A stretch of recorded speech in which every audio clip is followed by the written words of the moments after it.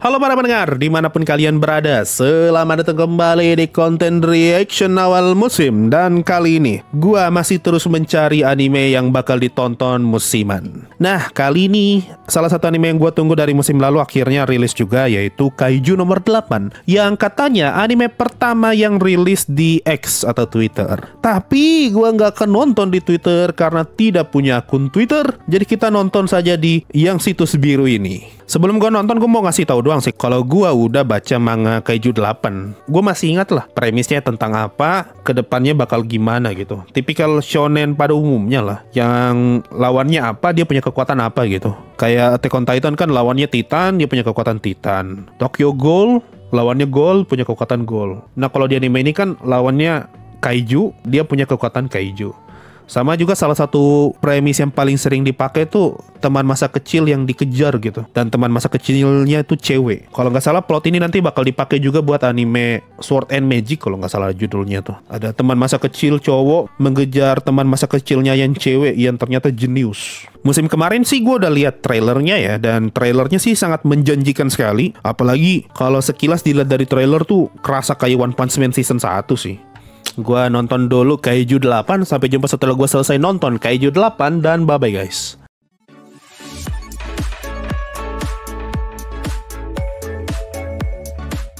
Wale Sampai ada lampu merah buat Kaiju loh. Saking seringnya ada Kaiju di dunia itu ya. Ini perasaanku aja tuh anime gelap ya. Kurang besar pak. Musiknya asik ini. Wah gila bagus loh. Ini vibe-nya kayak lagi nonton anime jadul loh kalau ada cleaner sama tim begini gue jadi ingat manwa. manwa apa tuh yang si hunter nomor satu regresi jadi cleaner. Daging di mana-mana ya. Bisa nih bikin coto. Itu kalau dijadikan coto berapa banyak gitu. bikin kaget. Lagi sedih loh tadi tiba-tiba mau dimakan. Habis ya? Ya, ditutup dengan scene komedi lagu boyband sekali. Lebih boyband lagu ini daripada openingnya Solo Fling tuh yang katanya dinyanyikan boyband. Wih, One Republic yang nyanyi? Yang nyanyi lagu Counting Star tuh. Kapan coba kita pernah kepikiran yang nyanyi lagu Counting Star ada buayanya bisa isi lagu anime loh. Asik. Endingnya bagus. Bikin jadi pengen nonton episode 2. Ya, itu tadi Kaiju nomor 8. Kenapa harus nomor 8? Sudah cukup kenapa-kenapa biarkan kenapa-kenapa itu ada di Blue Archive saya. Bagus atau tidak untuk episode satu ini lumayan lah. Gue mau bilang bagus sih kayak masih masih kurang nendang gitu. Cuman kalau dibandingkan dengan anime apa aja bukan isekai yang gue tonton ya, Blue Archive, uh, Loser Ranger, Dainana Oji, mungkin ini sih episode satu yang paling bagus ya anime bukan isekai yang udah gue tonton episode satunya. Jadi reaction mingguan kah? Nanti gue coba nonton episode 2 lah. Kalau akhirnya bagus, mungkin bisa jadi mingguan.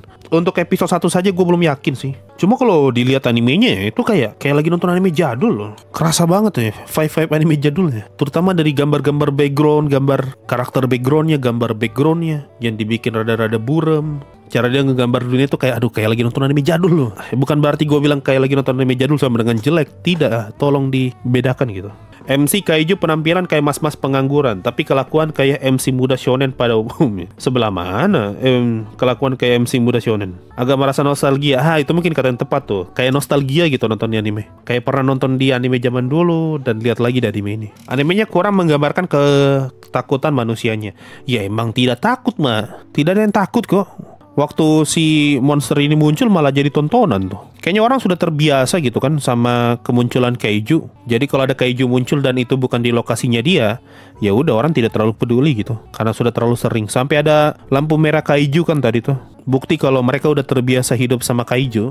Gue tuh berharap ini karena ini kan pakai premis kaiju, semoga aja keberadaan kaijunya tuh bukan cuma sekedar monster, maksudnya tuh jadi kayak ada keunikannya gitu kaiju nih ini kaiju makhluknya besar-besar keren-keren. Jangan cuma sekedar monster numpang lewat yang mati atau asal ngamuk doang jadi dieksplor gitu backstory kaijunya segala macam. Cuma kayaknya dari waktu gua baca manga nggak sampai sejauh itu sih. Jadi kerasa entitas kaijunya kayak gimana. Iya bukan cuma sekedar monster tukang rusuh aja. Ujung-ujungnya tuh cuma jadi gimmick doang masalahnya. Oh ini musuh kita iblis. Cuma sekedar makhluk jahat doang. Musuh kita gol makhluk jahat. Musuh kita titan makhluk jahat. Musuh kita apa lagi? Ujung-ujungnya cuma jadi sekedar makhluk jahat doang. Dan ujung-ujungnya juga yang paling bahaya tuh manusia bukan monster ya atau monster berwujud manusia. Ini kaiju nih tidak usah lagi lah bikin bentukan-bentukan manusia gitu. Bikin aja yang gila-gila gitu kayak kaiju betulan kan. Sudah bawa nama kaiju loh.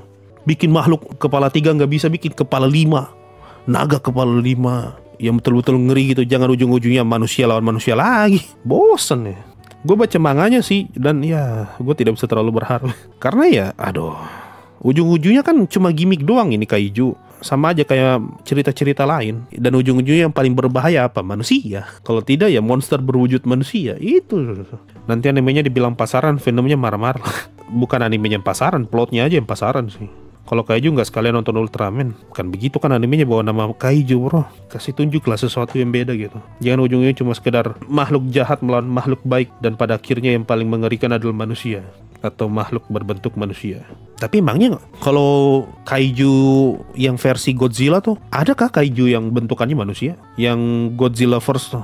Apalah istilahnya tuh? Monster Force adakah kaiju yang bentuknya kayak manusia dan kecil tuh kayak manusia gitu? Godzilla Shin itu ada anak-anaknya kayak manusia. Shin Godzilla yang bikinan Hideaki Anno yang agak horor. Kalau ambil referensi dari Jepang ada namanya Jet Jaguar. Aduh aduh sedih sekali liatnya leh Aduh nih, jet Jaguar. Aduh. Tapi besar ini kan, lebih kayak Ultraman sih ini. Jet Jaguar mah bukan kaiju, lebih ke mecha. Ini, wah ini ngeri banget pak. ini mah alien ini sudah bukan kaiju. Alien versus Predator, ngeri nih pak. Tapi ya kaiju kalau diartin strength creature. Oh, really? Soalnya setahu gue tuh kaiju selalu identik sama makhluk berukuran raksasa son. Di Vanguard kan ada deck kaiju. Decknya tuh deck monster semua besar-besar. Kaiju, makhluk buas asing, adalah genre film televisi Jepang yang menampilkan monster raksasa. Eh, monster raksasa. Jadi tuh harus raksasa. Identik gitu. Ya, mari kita coba cek ratingnya Kaiju D8. Berapa sih ratingnya Kaiju D8? 8,21 lumayan lah. Kaiju 8 dapat rating 8 harus 8 sih jangan 7 Kaiju 7 nanti Ya, gue sih oke-oke aja sih buat rating 8 ya. Soalnya secara visual bagus emang. Scene actionnya tadi bagus. Ya, itu sih. Untuk episode 1 bagus kok secara action ya. Sama musiknya juga asik tadi. Penutup episode 1 pun bagus ditutup dengan scene komedi tadi lucu. Waktu tiba-tiba dia jadi kaiju ya. Sama ditutup juga asik banget tuh tadi yang di ending betulan tuh. Si teman masa kecilnya pengen ngeburu si MC. Cuma ya itu, gue berharap semoga kaijunya bukan sekedar gimmick. Ujung-ujungnya tidak ada bedanya sama monster pada umumnya yang sering kita lihat di anime gitu. Dan ujung-ujungnya lawannya manusia-manusia lagi monster bentuk manusia. Kalau bisa tuh monsternya tuh setinggi Monas kah? Atau mungkin rajanya tuh bosnya tuh besarnya kayak gimana kek? Biar kerasa kaijunya. Sebagai pembaca manga menurut lo ceritanya bakal menarik gak? Dulu gue waktu baca sih menarik ya. Menarik-menarik aja gitu. Waktu baca ya Pas nonton animenya gue malah kepikiran. Gue berharap kaiju betulan gitu jangan malah manusia kaiju bentuk manusia atau manusia jadi kaiju. Ya gitulah. Biasanya kan kalau kita baca manga kita nggak nggak pernah kepikiran kan alah manganya tuh ternyata membosankan atau ternyata manganya punya plot hole. Tapi pas nonton animenya baru kepikiran tuh. Kayaknya ada yang kurang di sini deh. Kayaknya di sini kurang deh Kayaknya di sini mungkin bisa dibikin lebih bagus lah. Contohnya kayak solo leveling lah. Waktu baca manhwa kan kita nggak pusing, mikirin ini mikirin itu. Pas nonton anime tuh baru kepikiran. Kok bagian ini nggak ada ini ya? Kok di bagian ini agak aneh ya? Baru kelihatan tuh anehnya ya. Biasa lah itu. Ya mungkin itu aja. Gimana pendapat kalian soal Kaiju nomor 8? Bagus atau tidak? Dan apakah menurut kalian pantas ratingnya 8 atau jadi kaiju nomor 7 ratingnya 7? Dan apa coba yang bikin anime ini sampai eksklusif masuk X? Why? Sampai jadi anime pertama yang tayang di X kan secara resmi. Harusnya ada yang spesial lah dari ini anime. Kita tunggu-tunggu aja lah. Mungkin di episode terakhir atau mungkin tiga episode pertama bakal ada kejutan visual yang gila-gilaan. Siapa tahu ya. Sama openingnya ya, gue pengen lihat openingnya. Bakal dibikin kayak gimana openingnya? Soalnya lagunya tuh boyband banget pak. bakal kayak gimana bentukan openingnya nanti? One Republic tuh ngisi ending. Oh ending bukan op bukan opening. Oh Oh cocok sih kalau ending ya lagu tadi. Oh gue kira opening. Makanya gue mikir tuh ini Gimana nanti kalau jadi opening lagu begini? Begini banget terlalu santai. Ending Kalau ending mah cocok-cocok aja. Yang ngisi openingnya orang barat bang. Wah anjir. Opening ending sama-sama orang barat ya. Sangat barat sekali nih anime. Ya itu aja sih ya mungkin ya. Thank you semua udah nonton sampai detik ini. Kita ketemu lagi minggu depan. Semoga minggu depan bagus lah ya. Ya itu aja ya. Thank you semua nonton sampai detik ini. Kita ketemu lagi minggu depan Untuk nonton episode 2 Bye bye guys